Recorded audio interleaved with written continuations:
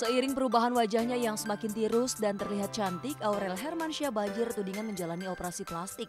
Menampik tudingan tersebut, Aurel pun memperlihatkan cara ia merias wajah agar terlihat tirus. Pertama, sebelum mau ke makeup tuh ke mana pun ya, pakai ini dulu.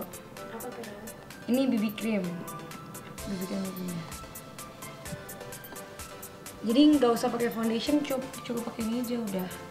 Kayak cuman aku pakai di leher, biar gak belang awalnya. Nggak punya. Iya karena kalau nggak nanti kayak mukanya putih, tapi lehernya hitam. Mantap lah. 5 soal tapi rumit. Rasa ya? iya, esai semua soalnya. Nah, ini kan udah rata, saya pakai BB cream. Tuh, pakai BB cream aja udah.